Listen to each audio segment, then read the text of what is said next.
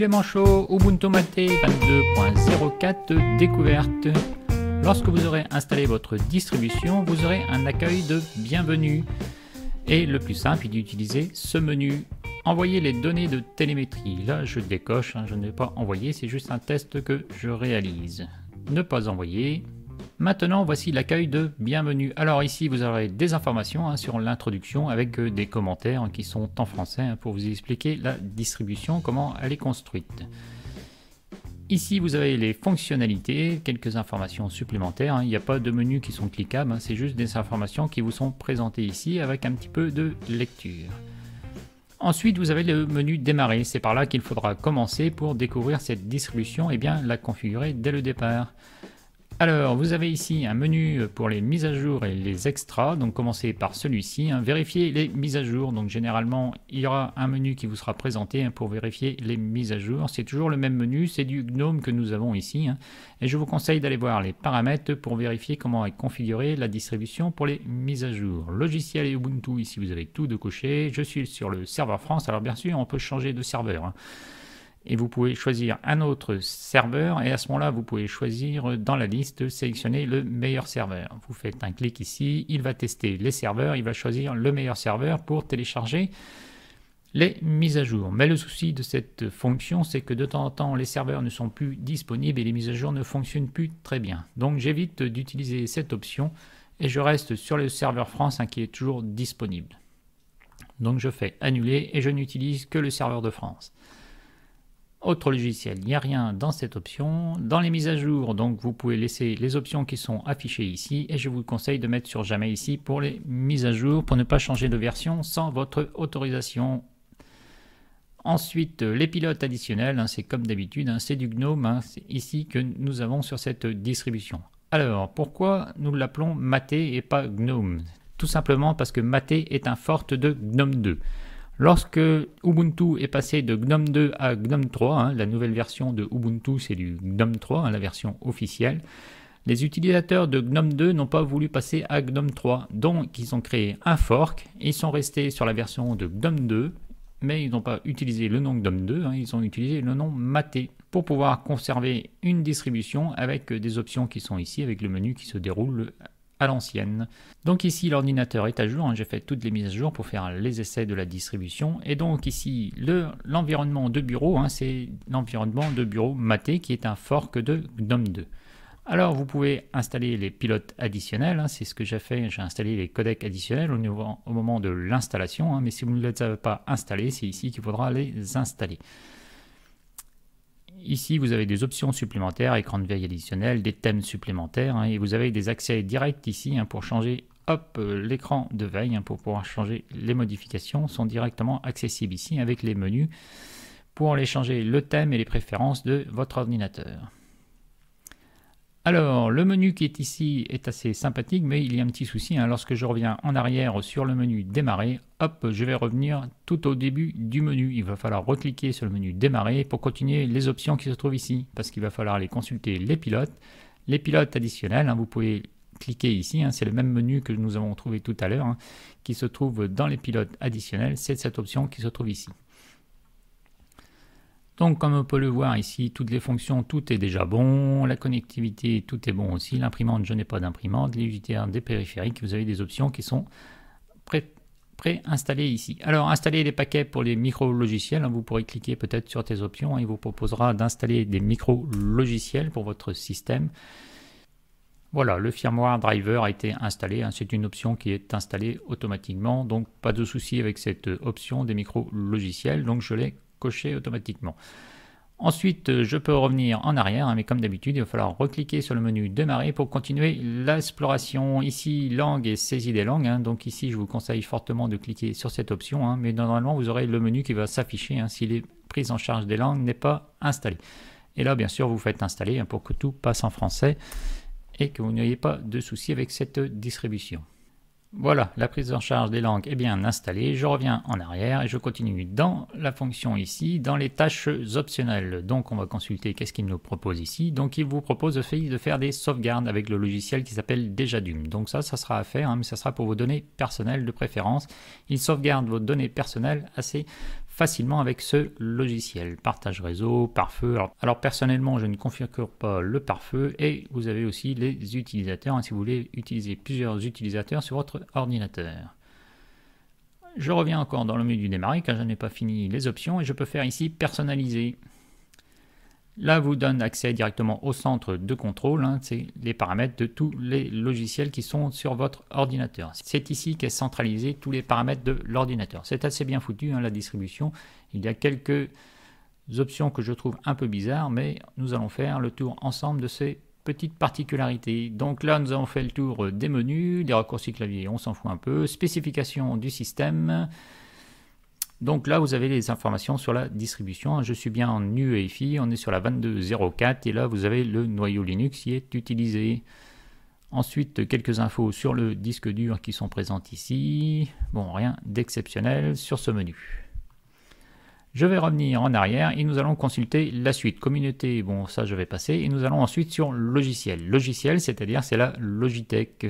Alors je trouve un petit peu compliqué cette Logitech car nous avons deux Logitech de disponibles. Alors quand vous avez besoin de rechercher quelque chose, il va falloir cliquer sur rechercher ici. Ensuite il va falloir cliquer ici, donc je trouve un peu laborieux ce système.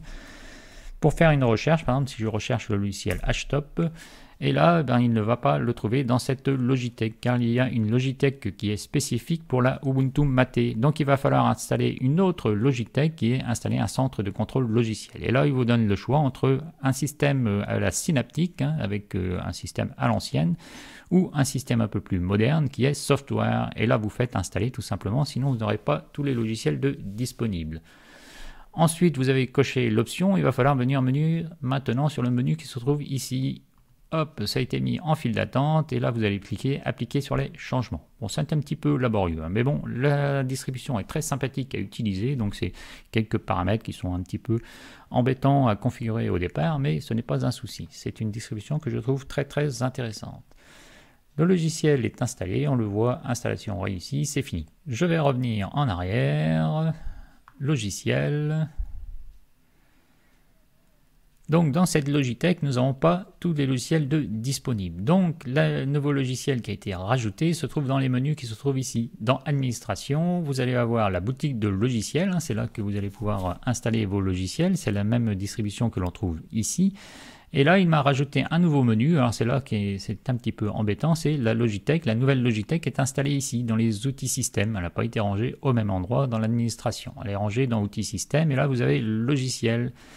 Et là, vous allez pouvoir utiliser cette nouvelle Logitech pour pouvoir installer des logiciels. Ça vous fait deux Logitech à utiliser, donc ça devient un petit peu embêtant à la longue. Là, je vais pouvoir rechercher HTOP directement, hein, ce n'est pas de souci, je vais taper directement, vous voyez bien, elle est plus accessible à l'utilisation. Et là, je suis en Snap, euh, en Snap au niveau de Ubuntu. Au niveau de HTOP, euh, je ne vois pas d'autres distributions HTOP de disponibles, donc celle-ci c'est que du HTOP en version Snap.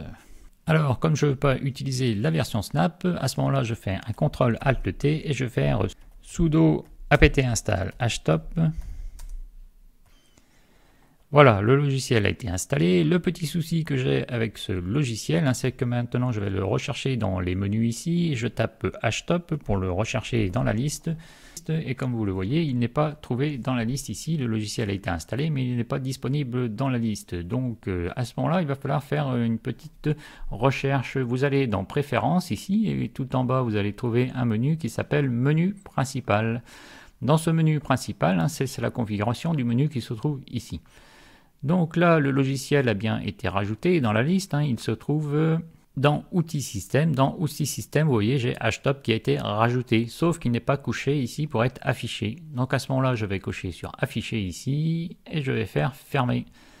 Maintenant, le logiciel sera disponible dans Outils Système, Outils Système, HTOP. HTOP est disponible et là, vous allez pouvoir consulter le logiciel. Alors, de temps en temps, il y a certains logiciels qui ne se mettent pas automatiquement hein, dans, la liste ici.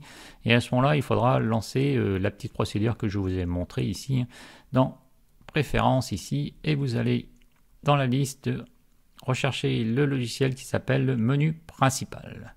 Donc deux Logitech à gérer avec ce système, hein. donc c'est un petit peu embêtant ce système, mais bon, on n'utilise que logiciel et à ce moment-là vous aurez tous les logiciels disponibles directement. Retournons maintenant dans notre menu de bienvenue. Nous avons fait le tour de logiciels avec deux Logitech qui sont obligatoires à installer hein, pour pouvoir l'utiliser. Ensuite, vous pouvez faire une sélection d'un navigateur. Donc ça, c'est une option intéressante hein, qui est préconfigurée. Et là, vous allez pouvoir choisir votre navigateur. Hein. Si vous voulez utiliser Chrome, Brave, Opera, vous allez pouvoir les installer directement avec ce menu. Donc c'est le menu de bienvenue, faites le tour par ce menu, comme ça vous allez bien configurer votre navigateur dès le départ. Vous pouvez aussi changer les thèmes.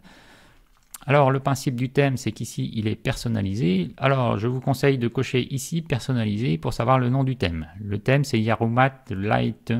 Maintenant je vais pouvoir choisir un autre thème. Hop, euh, Yarumat Dark. Parce que là, si vous avez le thème que vous avez choisi ne vous plaît pas, hein, vous allez pouvoir revenir facilement sur l'ancien thème puisque vous avez vu lequel thème était choisi au départ. Donc c'est une petite astuce, hein, sinon vous n'allez pas savoir quel thème vous aviez au départ.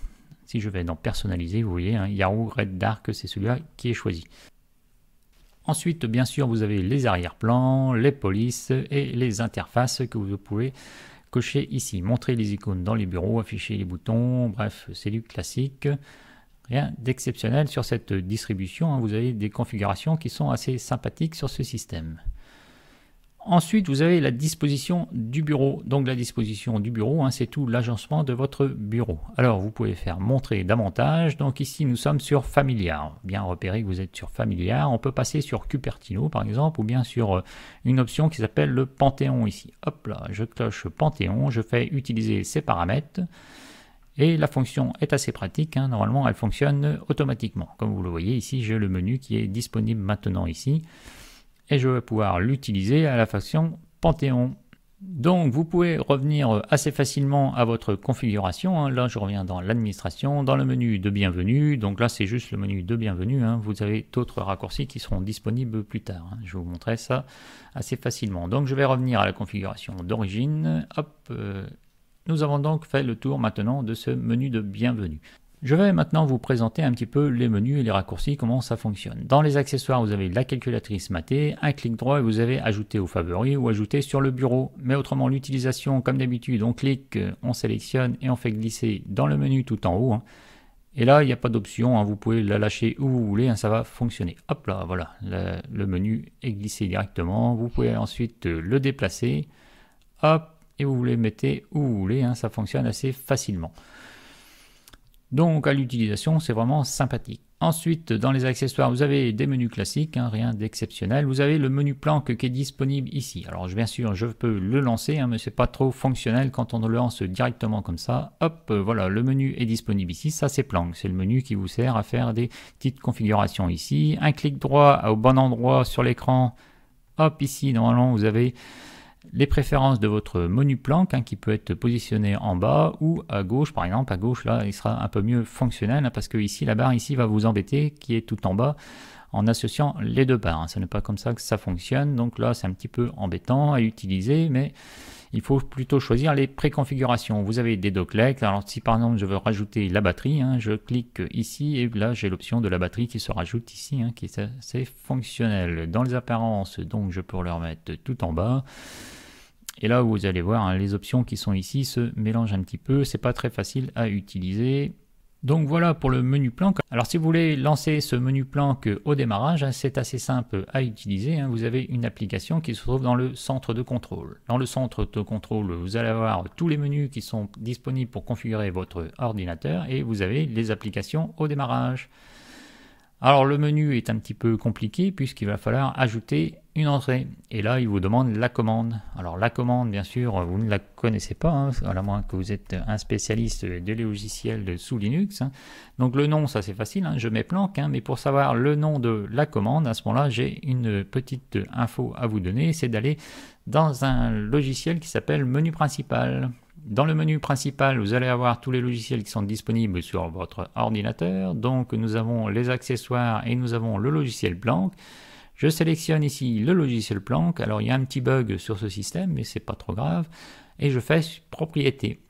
Je lance propriété. Hop, le menu s'est lancé. Il se trouve ici. Et là, je vais avoir les infos qui m'intéressent, c'est-à-dire la commande. La commande se nomme Planck. Et donc, il suffit tout simplement Là, on voit un commentaire stupidement simple, ça s'appelle Planck. Bon là ils ont mis que c'était stupidement simple. Hein. Si je prends un exemple de Internet, hein, le navigateur Internet, si vous voulez le lancer au démarrage, hein, ben, il va falloir connaître la commande. Et dans la commande, là si je vais dans les propriétés, bon la commande est un petit peu plus complexe. Elle se trouve ici. Alors voilà, donc cette commande-là, vous n'allez pas la deviner tout seul. Donc là, c'est intéressant d'utiliser ce logiciel de menu principal pour euh, avoir les options de démarrage et de commande. Donc là, il me suffit de mettre maintenant dans les préférences des applications le commande qui s'appelle Planck. Et là, au redémarrage de l'ordinateur, le logiciel qui s'appelle Planck sera lancé automatiquement au démarrage. Alors si Planck ne vous plaît pas, il suffira ensuite de le décocher tout simplement. Alors, dans les menus que nous avons ici, dans les accessoires, donc on va faire un petit peu le tour. Pluma, Pluma c'est l'éditeur de texte et Redshift. Alors Redshift est un logiciel qui vous permet de configurer automatiquement l'écran pour qu'il change de couleur au niveau de la nuit tombée. C'est-à-dire quand vous allez passer en soirée, l'écran va un petit peu passer sur une couleur un petit peu jaune. Alors l'option se trouve ici, hein. on le voit ici tout en haut, hein. on ne voit pas le menu, c'est pas un menu qui se lance. Et là vous allez pouvoir l'activer, le quitter, faire un lancement automatique le suspendre pendant 30 minutes, hein, et donc ça s'active automatiquement en fonction des horaires. Hop, là je vais le couper, hein, puisque là on est en plein jour, donc je n'aurai pas de modification de mon écran. Ensuite, dans les accessoires, nous avons le logiciel de sauvegarde. Hein. c'est un logiciel très pratique à utiliser pour créer sa première sauvegarde. C'est assez sympathique. Donc, euh, il sauvegarde de préférence le dossier personnel. Donc, tous vos documents personnels sont sauvegardés avec ce logiciel. Ensuite, le principe, là, il cherche un espace de stockage sur Google Drive, hein, mais vous pouvez mettre ça sur votre dossier local, sur votre disque dur local. Donc là, il va falloir choisir, bien sûr, un dossier. Hein. Le plus simple est de créer un dossier euh, spécifique euh, que vous allez pouvoir utiliser ensuite. Donc là, je vais mettre sur ordinateur, par exemple sur le disque data. Le mettre sur un disque dur externe, c'est préférable. Alors ce que je fais généralement, c'est que je crée un dossier sauvegarde spécifique hein, pour faire les sauvegardes. Donc là, il y en a déjà qui ont été sauvegardés. Je fais OK ici et je fais suivant. Ensuite, il va faire une sauvegarde. La première sauvegarde est assez longue au départ hein, parce qu'il sauvegarde toutes les données, mais ensuite la sauvegarde sera assez rapide et ça sera à vous de la configurer. Vous avez ici les préférences hein, pour la sauvegarde. Alors sauvegarder automatiquement et à ce moment-là vous aurez des sauvegardes que vous pouvez réaliser automatiquement tous les jours, toutes les semaines. Bon, il est assez simple et basique hein, l'utilisation, donc ne cherchez pas quelque chose de très compliqué. Mais le principal c'est d'avoir des sauvegardes. Ensuite, dans le menu principal, nous avons quelque chose d'intéressant, les caractères, Ubuntu Guide Maté. Alors l'Ubuntu Guide Maté, le problème c'est que c'est en anglais. Dans les accès universels, donc ce qui est intéressant, c'est le Manus ici, peut être intéressant pour vous, hein, pour certaines personnes qui ont des problèmes de visibilité. Vous pouvez utiliser ce logiciel et vous voyez, il va vous faire un zoom sur l'écran. Vous pouvez changer le type de zoom, hein, le mettre sur 5 par exemple, et là vous allez pouvoir zoomer sur cette partie-là, hein, comme vous voulez. Je déplace ma souris et vous avez des informations qui sont zoomées ici. Donc ça c'est Manus. Ensuite, vous avez une option qui est intéressante, c'est Onboard pour avoir un clavier virtuel ici, donc je vous l'ai déjà présenté. Ensuite, le menu qui se trouve en dessous, c'est le logiciel Screen Reader. Donc, ensuite, il va vous lire tout ce qui se passe à l'écran. Si je tape sur la lettre T, T,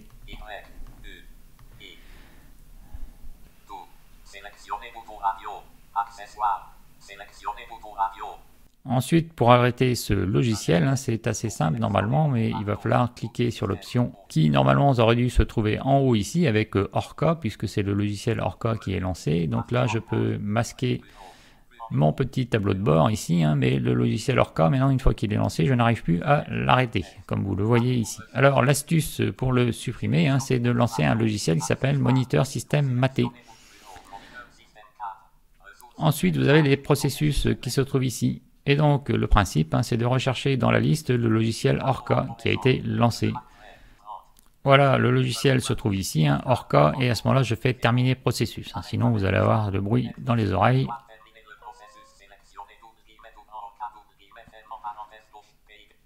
Voilà, on a mis fin à ce logiciel. Alors, si le logiciel Planck qui se trouve ici, qui n'est pas facile d'accès puisque là, il est en dessous la barre de tâches, hop, qui se trouve ici, donc là, je vais enlever le logiciel Planck, je vais faire la même chose, hein, je vais faire terminer processus, terminer processus, et voilà, et je n'aurai plus le logiciel Planck tout en bas.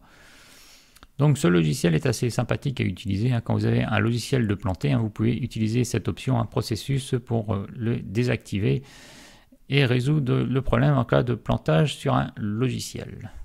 Ensuite, dans l'administration, vous avez le menu de bienvenue hein, qui sera disponible en raccourci ici. La Logitech, euh, c'est celle-ci, la boutique des logiciels. Les mises à jour, c'est là que vous pouvez consulter vos mises à jour. Et ensuite, vous avez le bureau, hein, ça c'est du classique, hein, tout ce que vous avez ici, du LibreOffice. Évolution, c'est le logiciel de GNOME, bien sûr. Graphisme, vous avez deux disponibles, euh, LibreOffice Draw ou Shotwell, c'est celui que j'utilise moi pour gérer mes photos. Pour Internet, vous avez le navigateur Firefox, qui bien sûr est en Snap. Ensuite, pour les aussi systèmes, nous avons ici le logiciel Kaja, c'est l'explorateur de fichiers. Alors, c'est un très bon navigateur hein, qui vous permet d'explorer vos fichiers, il était sympathique à utiliser. Au niveau de l'affichage, vous pouvez aller en icône, en liste, en compact. Ensuite, ce qu'il est intéressant d'utiliser, hein, vous pouvez avoir des arrière-plans et des emblèmes. Hop là, on va lancer par cette option, hein, c'est assez facile d'utilisation. Bon, tout ne fonctionne pas à merveille, mais c'est Si par exemple je veux choisir une autre couleur pour mon fond d'écran, il suffit de le faire glisser ici. Voilà, je peux changer le fond d'écran de mon bureau. Par contre, si je veux le réinitialiser, hein, hop, euh, bah, ça ne fonctionne pas. Donc euh, c'est un petit peu embêtant. Donc euh, il va falloir rechoisir la bonne couleur qui correspond à votre menu. Là, je vais pouvoir choisir les couleurs qui se trouvent ici. Je peux mettre en vert, par exemple. Et là, c'est pareil. Hein, si je veux réinitialiser, bon, ça ne revient pas à zéro. Donc je vais remettre sur le blanc comme c'était au départ. Hop, vous faites glisser la couleur, voilà. Et vous pouvez aussi avoir des emblèmes. Donc ça c'est assez sympathique à utiliser. Hein. Il suffit de faire glisser les emblèmes hein, sur les menus qui se trouvent ici. Si par exemple les photos, vous avez votre caméra, vous faites glisser l'appareil photo et vous voyez, l'appareil photo apparaît ici, c'est assez facile d'utilisation. Pour la musique, c'est pareil, hein. vous pouvez glisser des petits menus comme ça et vous allez pouvoir les configurer. Hop, euh, ensuite vous faites peut-être un clic droit, hein, vous allez dans propriétés, vous avez tout un menu qui est disponible ici. Donc les emblèmes, c'est là qu'il faudra les utiliser pour les reconfigurer. Si l'option multimédia ne vous plaît plus, hop, on la décoche ici tout simplement. Vous avez les permissions, bah, les permissions puisque vous êtes avec un système en EXC4, donc vous avez des permissions sur les dossiers. Là, le nom d'utilisateur et le propriétaire, c'est Michael. Alors, quand on est en FAT32, il n'y a pas de permission. Hein. C'est du copier-coller et aucune permission n'est à valider. Alors, pour cela, il suffit tout simplement d'aller voir euh, le système de fichiers. Hein. Si je vais dans le système de fichiers et si je vais dans mon boot ici, je vais sûrement trouver ma partition EFI qui se trouve ici. Et là, je n'ai pas accès à ma partition EFI. Donc c'est assez sympathique à utiliser cette distribution parce que vous avez des options qui sont intéressantes en faisant un clic droit. Un clic droit et vous avez ouvrir en tant qu'administrateur. C'est pareil pour un fichier ou pour un dossier, hein. vous pouvez être un super utilisateur. Là, il vous donne des informations comme quoi c'est dangereux, donc ne faites pas de bêtises, vous faites valider et là, on passe en mot de passe. Et là, j'ai maintenant accès à ma partition EFI. Donc, je rentre dans ma partition EFI qui se trouve ici. Hein, et je vais pouvoir consulter. Ben, j'ai le boot. Hein. Le boot, je peux le supprimer. Hein. Celui-là, il, sera recréé automatiquement au démarrage de l'ordinateur. Donc, ce petit boot-là, on peut le supprimer. Ce n'est pas un souci. Par contre, les entrées qui sont ici, il ne faut pas les supprimer. Ça, c'est l'entrée EFI de la Linux Mint Debian. Et ça, c'est l'entrée EFI de la Ubuntu. Si je fais un clic droit et je fais propriété du dossier, alors le propriétaire ici, ben, le propriétaire ici c'est root, hein, mais ce n'est pas un souci hein, puisque cette partition est en FAT32. Ensuite, sur cette distribution, ce que nous avons d'intéressant, hein, si je vais dans mon dossier data qui se trouve ici et dans mon dossier vidéo, j'aime bien avoir en raccourci le montage en préparation qui se trouve ici. Alors il me suffit de faire un clic droit, alors j'ai des options qui sont intéressantes ici, créer un lien, renommer, donc si je crée un lien ici, je peux faire un clic droit, je peux faire couper et puis je peux maintenant l'envoyer sur le bureau. Hein. Comme ça, j'aurai un accès directement à mon lien de préparation ici directement sur le bureau. Hop, voilà, montage en préparation et j'ai un accès direct. Revenir sur Michael, data, je reviens ici, je reviens dans vidéo, montage en préparation. Là, je fais hop, ajouter aux favoris. Voilà, montage en préparation. Et maintenant, j'ai le vrai raccourci qui me donne directement accès à montage en préparation. Vous voyez, c'est facile d'utilisation. Moi, j'aime bien cette option avec les favoris. Hein. C'est des signets généralement que ça s'appelle. On peut faire modifier les signets, mais ça, c'est encore autre chose. C'est au niveau des dossiers qui se trouvent ici. Hein. Document, téléchargement, musique, images et vidéos. Et là, vous pouvez faire un petit peu quelques réglages ici et modifier les noms. Hein. Si vous avez modifié les noms, hein, vous pouvez les modifier ici. Montage en préparation, hein. vous pouvez faire juste montage et puis comme ça, ça va diminuer un petit peu Le menu qui se trouve sur la gauche, je vous faites fermer, hop là, voilà, montage, et puis vous avez modifié le nom. Donc c'est assez sympathique à utiliser.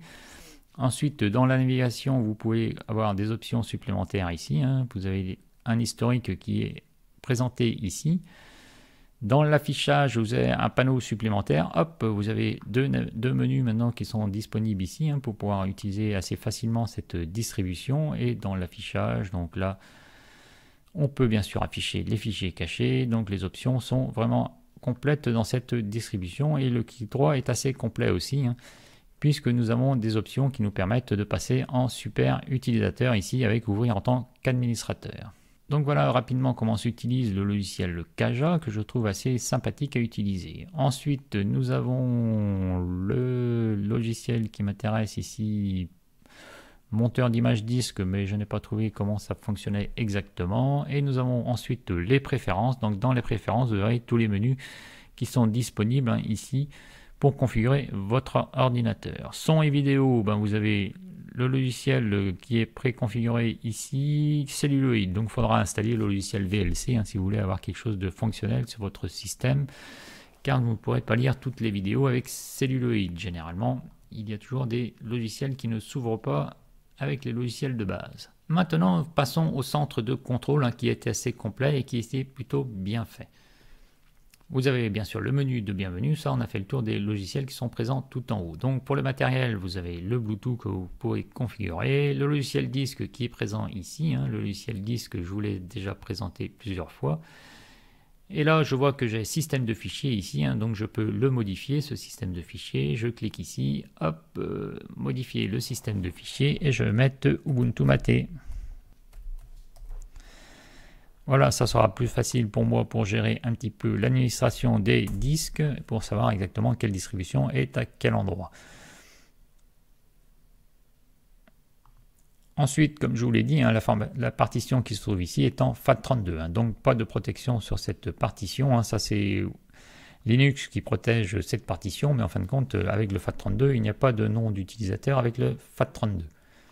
Ensuite, le gestionnaire de Bluetooth, le gestionnaire d'énergie, c'est ici que vous allez pouvoir configurer votre ordinateur pour savoir quand il va pouvoir passer en veille. Vous avez des menus qui sont configurables ici, hein, avec poser les cautions lorsque j'appuie sur le bouton de mise en tension, mettre en veille, éteindre, ne pas faire, me poser la question. c'est le menu que je préfère, hein, comme ça je choisis ce que je veux faire quand il va éteindre l'ordinateur. Et dans le menu qui me présente ici, hein, pour euh, l'extinction de l'ordinateur, j'ai les tempos de 1 minute pour éteindre l'ordinateur.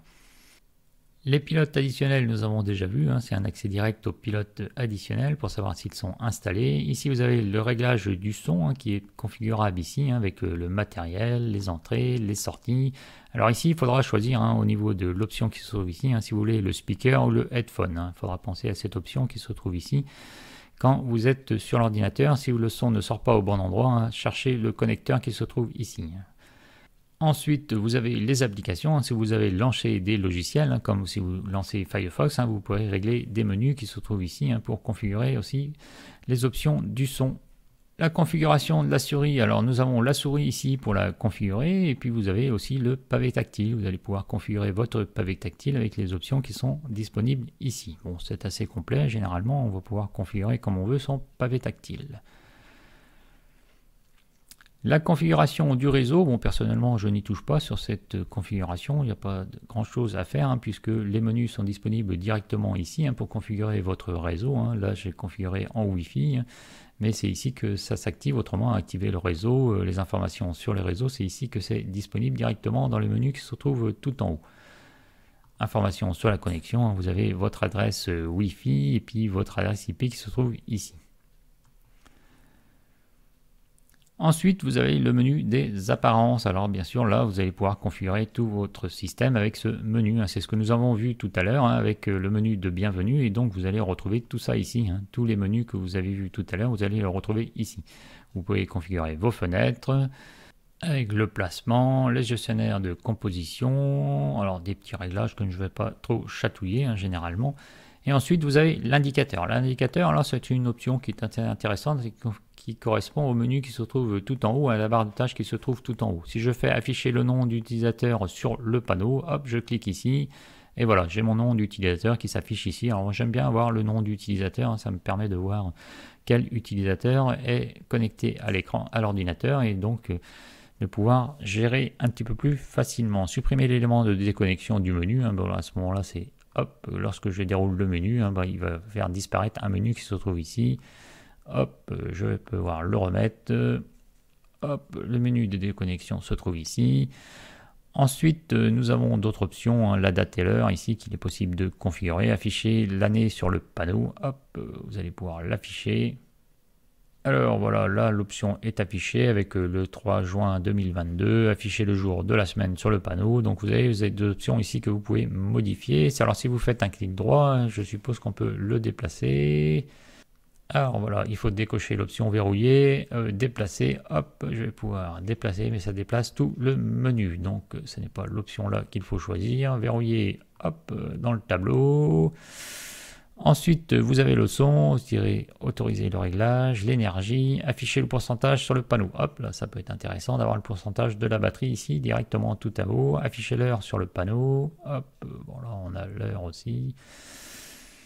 Donc il concerne l'énergie, les messages, euh, donc pas d'option ici, les notifications et le keyboard, voilà. Donc le petit menu indicateur ici, il y a quelques options que vous pouvez rajouter dans les menus. Le gros intérêt de cette euh, distribution, c'est Matetweak. Euh, Matetweak, là vous allez pouvoir avoir des options qui sont intéressantes pour configurer votre ordinateur. Afficher les icônes sur le bureau, ça, c'est du classique. Et ici, le tableau de bord. Donc là, vous allez pouvoir changer votre tableau de bord aussi. Hein, c'est la même option qu'on a vue tout à l'heure, hein, mais qui n'est pas en image, avec Cupertino, Panthéon, et choisir la configuration un petit peu de votre bureau ici. Si vous choisissez Panthéon, vous validez. Et là, vous allez avoir l'option qui se trouve ici avec le Panthéon, vous pouvez revenir facilement en arrière avec, euh, avec le menu familiar. Alors vous jouez un petit peu avec ces options. Alors de temps en temps, ça a tendance à ne pas fonctionner ou à planter. À ce moment-là, il suffit tout simplement hein, de relancer l'ordinateur et tout va revenir dans l'ordre. Vous pouvez même enregistrer votre propre configuration ici avec le menu qui se trouve ici a priori. Dans les fenêtres, nous avons d'autres animations qui sont disponibles, hein, euh, qui sont ici. Je vous laisse regarder. Donc ça, c'est le menu Matetui qui est assez intéressant. Le menu principal, nous avons vu, Planck, les préférences. Donc là, c'est un accès direct à Planck hein, pour configurer si vous avez l'utilisation de Planck qui est sur le menu. Alors c'est assez sympa à utiliser, hein, le Planck, donc là, hop, euh, qui est ici, hein, une fois qu'on l'a lancé. Alors comme vous, voyez, comme vous, le voyez, on a un effet de zoom. L'effet de zoom, c'est ce petit menu qui se trouve ici. et on va avoir des options plus ou moins différentes et des zooms plus ou moins différentes sur les icônes. Là, je suis revenu sur le menu Panthéon. Hop, je reviens sur le menu familial hein, pour enlever ce petit plan que j'avais lancé ici. Voilà, normalement, il est plus disponible ici. Hop, non, il est parti. L'économiseur d'écran. Donc, c'est là qu'il va falloir configurer un petit peu pour avoir les fonds d'écran ici. C'est là que ça s'active. Alors, pour l'économiseur d'écran, si vous ne voulez pas taper le mot de passe à chaque fois qu'il passe en veille, hein, c'est décocher l'option qui se trouve ici. Ensuite, nous avons les applications au démarrage. Donc là, c'est le petit menu que nous avons vu tout à l'heure, hein, qui n'est pas très facile à utiliser. Alors, si vous voulez avoir Redshift qui se lance automatiquement au démarrage, c'est ici que vous pouvez le cocher, hein, ou directement ici avec le petit menu une fois qu'il était lancé tout à l'heure. Les applications préférées. Alors là, c'est un menu qui est assez complet. Hein. Ici, vous avez Internet hein, pour savoir quel logiciel vous allez utiliser pour Internet. Donc ça, c'est le navigateur Firefox qui est de préférence. La messagerie, bah, bien sûr, ça sera Thunderbird ou Evolution que vous allez choisir en messagerie. Pour le multimédia, donc vous avez un menu assez complet hein, pour les images, les multimédias, le lecteur vidéo. Le système, là, c'est pareil. Vous pouvez choisir d'autres logiciels pour faire un explorateur de fichiers pouvez choisir d'autres explorateurs si vous en installez d'autres sur votre système. Donc il est assez complet ce menu, vraiment très accessible. La gestion de fichiers, donc c'est là que vous allez pouvoir configurer un petit peu votre logiciel le Kaja hein, pour le comportement, 5 clics pour ouvrir les éléments, l'affichage, les colonnes, les listes, les aperçus, les supports et les extensions. Là, vous avez des extensions qui sont tous cochées sur le système. Il y a pas mal d'extensions, ce logiciel Kaja. Mais je ne vois pas où on rajoute des extensions puisqu'il ne propose pas dans le menu d'ajouter d'autres extensions ici. Ensuite, au niveau du bureau, hein, qui est utilisable ici hein, sur le fond d'écran, hein, vous pouvez euh, organiser votre bureau, verrouiller les positions, changer l'arrière-plan du bureau. vous avez un accès direct ici. Et ensuite, vous avez bien sûr les différents bureaux qui sont disponibles ici. Alors comme on peut le voir avec la barre de tâches qui se trouve en bas, hein, si je change de bureau, hein, hop, les menus vont disparaître. Hein. Donc euh, on a vraiment des bureaux qui sont indépendants pour chaque euh, système ici. Si je lance Firefox, j'aurai des menus qui seront disponibles ici et d'autres menus qui sont disponibles ici dans la barre de tâches. Ensuite, si le menu de bienvenue qui se trouve ici, je peux le déplacer vers un autre espace de travail. Il va se déplacer sur la droite. Maintenant, il sera disponible ici, hein, l'espace de bienvenue. Voilà, tac. Voilà comment ça fonctionne. Donc c'était simple d'utilisation, hein, ce système euh, de Ubuntu Mate. Hein. donc elle est assez réactive, pas trop de soucis avec cette distribution. Pour éteindre votre ordinateur, j'aime bien l'option qui est présente, hein, qui est ici, hein, qui fait éteindre. Et comme vous le voyez, vous êtes actuellement connecté en tant que Michael et vous avez 58 secondes pour l'extinction de votre ordinateur, ce qui permet de ventiler votre ordinateur portable ou votre fixe, hein, bien sûr, suivant comment vous l'utilisez. Vous allez pouvoir assez facilement configurer et choisir votre tableau de bord ici hein, pour le configurer et le gérer assez facilement. Hein. Vous pouvez même ici euh, supprimer ce tableau de bord. Hop là, je supprime le tableau de bord et il disparaît. Donc là, vous avez fait une fausse manip parce qu'en en fin de compte, euh, maintenant, vous avez plus accès aux bureaux qui sont disponibles ici. Hein. Donc c'est pas grave, vous avez d'autres menus qui sont présentés ici. Vous pouvez réinitialiser tous les tableaux de bord. Hop, euh, ça ne fonctionne pas, mais bon, ça existe. Hop, voilà. Donc maintenant, j'ai tout planté le système et je me retrouve avec un système qui est un petit peu planté. Je peux revenir à la version précédente. On va regarder qu'est-ce qu'il me propose. Alors, comme vous avez pu le voir, hein, la fonction qui se trouve ici, euh, réinitialiser tous les tableaux de bord, hein, ce n'est pas très fonctionnel. Donc, euh, le principe, hein, on redémarre l'ordinateur et comme vous le pouvez le voir, j'ai tout retrouvé des menus comme je les avais préconfigurés tout à l'heure. Donc dans la part de tâches, hein, vous avez les propriétés ici. Hein. vous pouvez faire euh, des orientations en haut, en bas, l'arrière-plan ici qui peut être utilisé aussi. Ensuite, vous avez ajouté au tableau de bord, hein. vous avez des options ici que vous pouvez rajouter. si vous voulez avoir des petits yeux qui vous suivent ici, vous faites ajouter, hop là, voilà, les petits yeux vont vous suivre ici. Et puis, c'est à vous de voir pour configurer un petit peu et mettre de l'animation dans votre tableau de bord. Voilà, nous avons fait un petit peu le tour de cette distribution. Nous allons regarder maintenant les tests que j'ai réalisés sur cette distribution pour voir un petit peu comment elle réagit au niveau des systèmes de HTOP rapide. Alors là, Ubuntu Mate, où j'ai refait les tests dernièrement hein, sur cette distribution. Donc en consommation mémoire, on est à 890 mégaoctets de consommation mémoire HTOP à vide hein, au bout de 3 minutes. Ensuite, euh, en réalisation de montage vidéo avec euh, Caden Live, nous sommes euh, actuellement à 5 minutes. Hein, donc 5 minutes, donc on est à peu près équivalent. On n'a pas explosé le, score de 11 minutes ici quand on est en mode éco avec Ubuntu, hein, où on, fait, est en mode économie d'énergie. Donc là, on ne met pas tous les processeurs en route et à ce moment-là, c'est beaucoup plus long hein, au niveau du montage vidéo. On a la Linux Mint Debian ici qui était un petit peu en retard à 5 minutes 11. Pour la Ubuntu Mate, on est à 5 minutes 20 autrement lorsqu'on met en charge avec Live et VocoSquim, donc c'est un bon score euh, quand même. 5 minutes 20, c'est ce qu'on a de meilleur au niveau des distributions ici. Si je compare avec euh, les autres, hein, il va falloir que je vérifie au niveau des différentes distributions. Ici, on est à 2 Go 07 en libération de mémoire euh, au bout de 15 minutes. Donc, il libère là les mémoires. On se retrouve avec 2 Go de disponibles. Le temps de démarrage, c'est 17 secondes. Et au niveau du logiciel de superposition pour le test euh, des images par seconde, on est à 2231. On n'est pas très très élevé au niveau du score ici. Hein. On est un petit peu moins élevé que la Xubuntu et même que la Lubuntu, 2331. Ce qui nous fait donc 16 images par seconde en moyenne. On verra un petit peu les différences entre les différentes distributions. Il me reste encore la Kubuntu et la Ubuntu Budgie à tester pour voir un petit peu lesquelles distributions se sortent du lot.